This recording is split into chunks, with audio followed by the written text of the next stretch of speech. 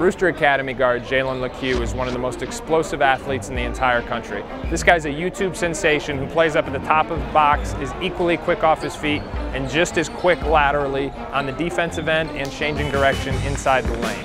Right now he's a two guard trying to transition into a point guard, working on becoming a more consistent shooter and decision maker. While he's probably not yet ready for the NBA game, there's no denying his physical upside and scouts have been monitoring his progress all year long considering this is his fifth year of high school and so he may be able to petition the NBA for immediate entry into the 2019 NBA draft. While he might be best served having at least a year of development with Kevin Keatts at NC State, this is a guy who could become the latest New England prep product to explore a jump straight to the NBA draft.